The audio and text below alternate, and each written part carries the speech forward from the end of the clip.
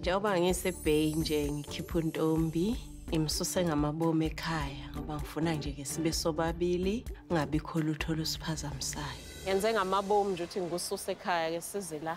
Ngoba ngifuna-ke sikhulume mina nawe nje sobabili. Khulume ngale nkinga le yasebathenjini ukuthi wena asikuphathi thina kahle. Ngifuna ukuke ngizwe nje ngawe nje ukuthi wena uma kunjena nje ubona ukuthi fanele senze njani? Sikuyeke kunje ayikho into engalungiswa ayikho into engalungiswa yebo It's not iduty kagogo ukuthi angithande. Umuntu engize ngaye la ekhaya mayisa right is fine. Ukclear ukuthi mina nogogo asisoze sabona ngaso linye. So why fanele sizame ezinye indlela? ubona wena ku-right ukuthi njalo nje uma ufikile ekhaya lokhu kukhulunywa amacala inkinga ayikho kimi inkinga engakuthini ngasho njalo mane nodwa ngawani ngawani ngawani ni-right once kwafika ugogo ah yabo manje sihleli la soyi-two kube kukhona ugogo napo siyacomplain ukuthi ngigqoke ingubo encane. Mina? Mhm. angifuneki ukukuphika lokho. Nathi ke ngibona ukuthi sometimes nathi ugogo sinokumesaba sigcine mhlawumbe sesichema nogogo.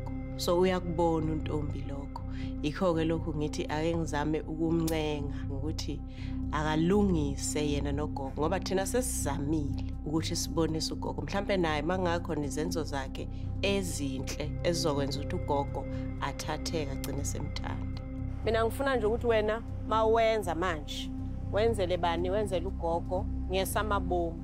Naye ugogo futhi sisazozama ukukhuluma naye simtshele ukuthi cha phela. Fanele abuke ukuthi isikhathi esesiphila kuso njengamanje akusona isikhathi wayephila kuso yena kuqala.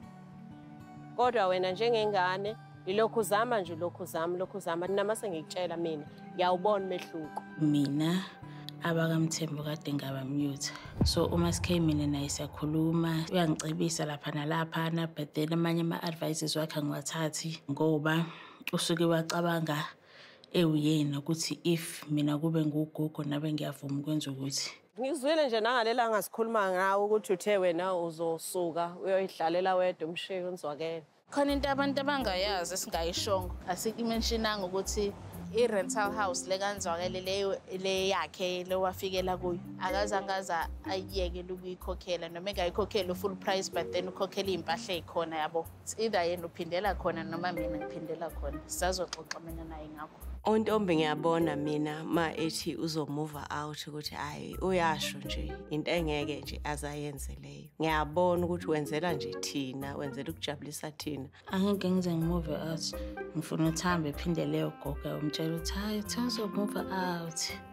Ngoba for sure ngoba ezela akazile fully ngizongicebisa kodwa fanele ahambise i-feedback ekhaya ukuthi hhayi ke ngihlanganile naye. Kunelokhuzane le-gathering yethu esizoya kuyo nje uma sisuka la. Uyathanda nokuba nathi? Besingathanda ukuthi na- nawe nonzwakele nifike. Khona ugogo. Um ugogo phela uhleze umhleze khona awuzukuza cha ngiyabonga. If ube ebe-invite kusenesikhathi yebo bengizoba khona. Like i did before. Ayihamba ngeke ngelinye ilanga. Yohamba ngelinye langa yebo sohlela yethu. Izohlelwa yimina oh. Okay emazulu. Eh,